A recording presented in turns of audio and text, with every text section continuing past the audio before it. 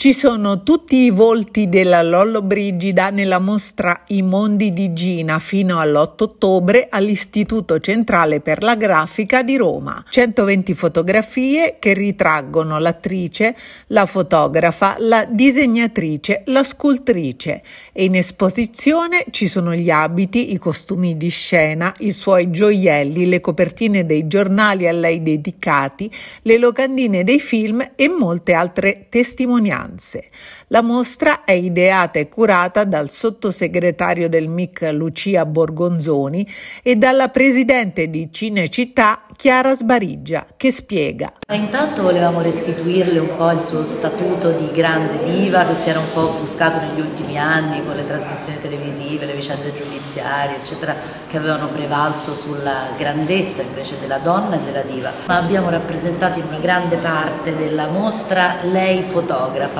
e la sua seconda vita ci sono le sculture che sono anche rappresentate in alcune foto, ci sono dei collage, c'è anche un po' della vita privata, la più bella di di Gina, il periodo felice del suo primo matrimonio con il bambino. In mostra ci sono immagini che provengono soprattutto dall'archivio Luce Cinecittà e dal centro sperimentale di cinematografia, ma anche foto di autori della Magnum.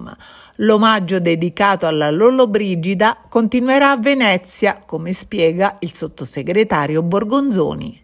Ci sarà una mostra all'Excelsior dove ci sarà sia lei che la Magnane eh, due donne che forse rappresentano il concetto di femminismo al massimo perché tutte e due alla fine si sono fatte al sole, una in un mondo di donne bellissime ha preferito mandare avanti non la sua bellezza ma il suo saper fare arte, la Magnane, e dall'altra parte una donna che senza l'aiuto di nessuno ha deciso di conquistare il mondo e ha conquistato il mondo. In più presenteremo un premio a Venezia che sarà un premio intitolato a lei che per sempre.